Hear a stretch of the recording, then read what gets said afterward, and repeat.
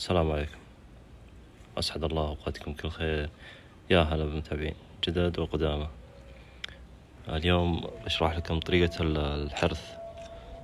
يفضل يعني للي عنده أشجار بالبيت كذا إنك تشي زي هذه. هذه ممتازة. يعني لو تحرث كذا بس دخل الروس زي كذا إلى هنا. ولا بغيت تحرث. عاد إذا الجذور مادة تحت يعني إذا سويت كذا وما لقيت جذور دخل أعمق شوي عادي. يعني أشوف أنا زي كذا ما في جذور. إذا طلع لي جذور أحاول إني أخفف الحرث أخليه فوق ال يعني زي ما قلت لكم إلى هنا. كذا كل الأرض كل اللي حول اللي تعطونه ماء يعني الحوض كله. لازم تسوي كذا. شوف زي كذا. من الأفضل إنك تحرثها يعني كل كل أسبوعين مرة كل عشر أيام كل شهر مرة. يعني بالأوقات يعني اللي ما يكون جذور النبات فوق سطحي.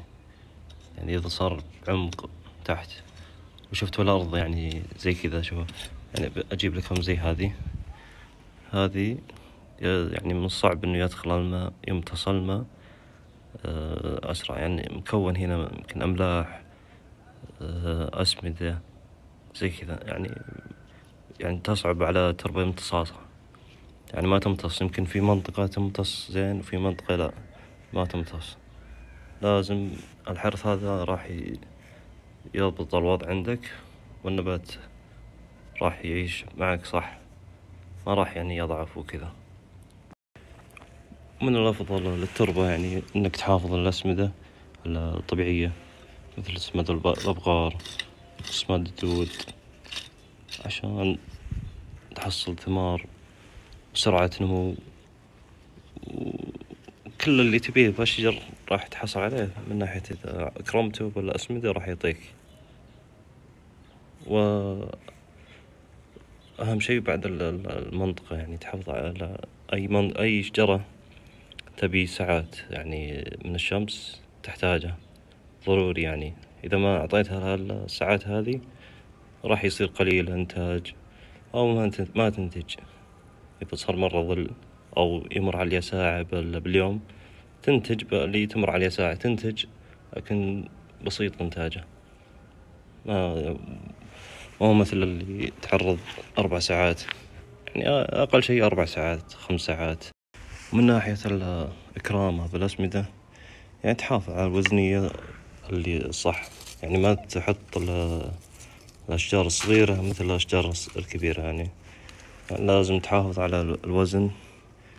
يعني مثل هذه. هذه تحتاج سماد بقر يعني يمكن هذه عمرها تقريبا سنتين. على حسب الشجرة هذه الشجرة اللزام أو يسمونها الكرز الهندي. هذه تحتاج تقريبا يعني آه، كيلو كيلو سماد. يعني حطوا دار مدار زي كذا. ما حطوا يعني عند الجذر الساق. أبعده أبعد عن الساق. يعني من هنا.